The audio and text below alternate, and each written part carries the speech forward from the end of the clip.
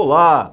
Na aula de hoje, vamos dar prosseguimento à discussão dos conceitos da sociologia de Durkheim. Na primeira parte da aula, apresentamos os conceitos durkheimianos de objetividade, normalidade e patologia, sociedade e fato social. Na sequência, vamos apresentar a divisão do trabalho social em Durkheim.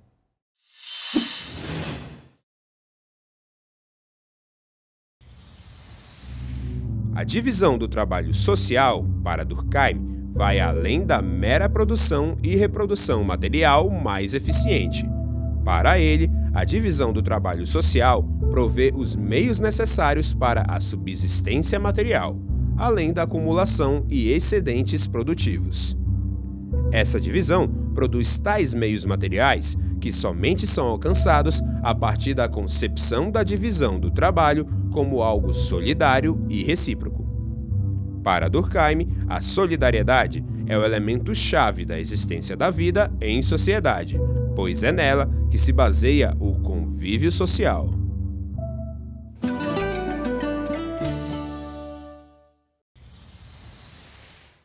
Durkheim estava preocupado com a questão da coesão social, ou dito de outra forma, com a interação social.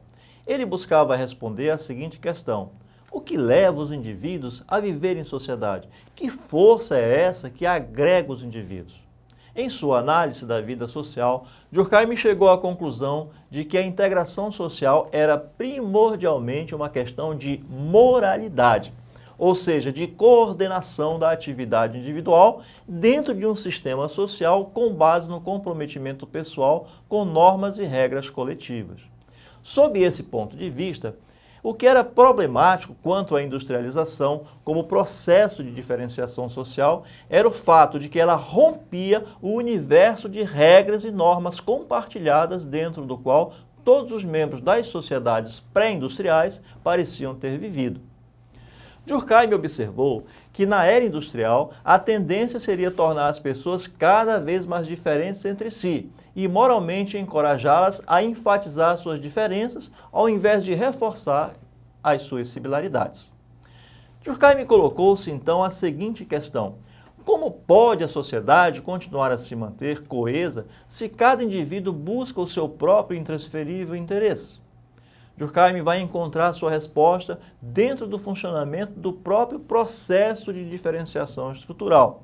Para ele, o elemento dominante e dinâmico desse processo é a marcha da divisão social do trabalho.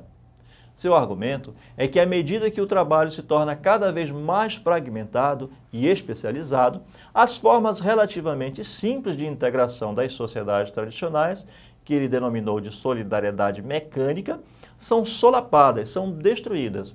Ao mesmo tempo, são criadas as bases de uma nova e mais complexa forma de integração, denominada por ele de solidariedade orgânica. Durkheim entendeu, portanto, que o progresso da divisão do trabalho dissolve um tipo de sociedade e constitui outro.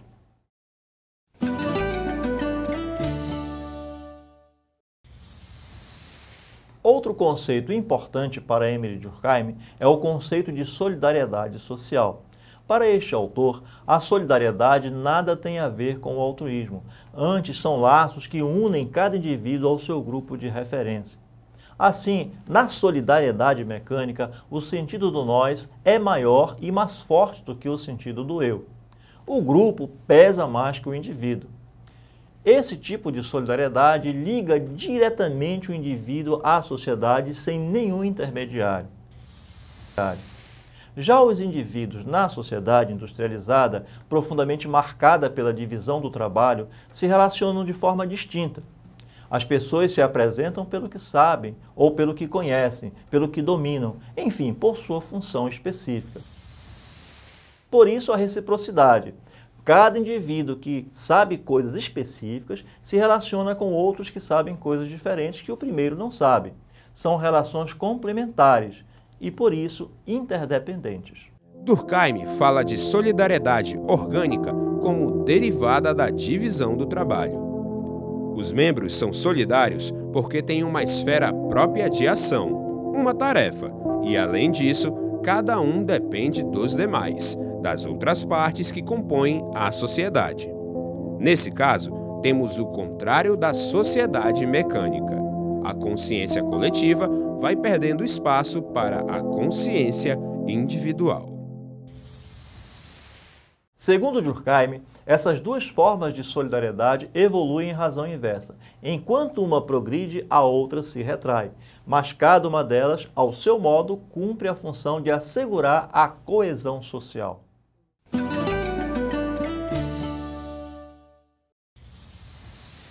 Na solidariedade mecânica existente em sociedades pré-capitalistas, as individualidades não se destacam. Nessas sociedades, o indivíduo não é reconhecido pela sua individualidade, mas pelo conjunto, pelas características do grupo. Isso quer dizer que existe um conjunto de sentimentos e crenças que é igual para todos. Isso é chamado de tipo social. Nesse tipo de sociedade, a consciência coletiva é muito forte. A personalidade individual é absorvida pela personalidade coletiva. No tipo de solidariedade mecânica, em que a individualidade é nula, ferir a regra estabelecida é ferir o todo. Nesse tipo de interação, a um ato criminoso se aplica o direito penal, repressivo. O crime é crime porque violenta, agride a consciência coletiva o significado e a função da pena tem um sentido de reafirmar a coesão pela reação ao ato diferenciado. O castigo é dirigido como uma satisfação que a sociedade dá às pessoas honestas.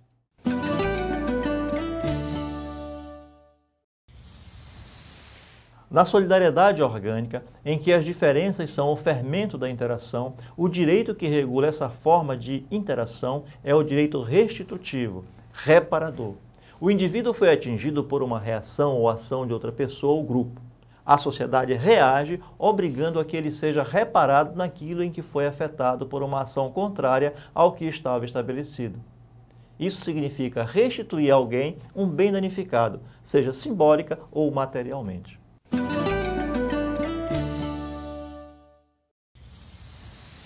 Outro conceito importante para Emile Durkheim é o conceito de anomia social.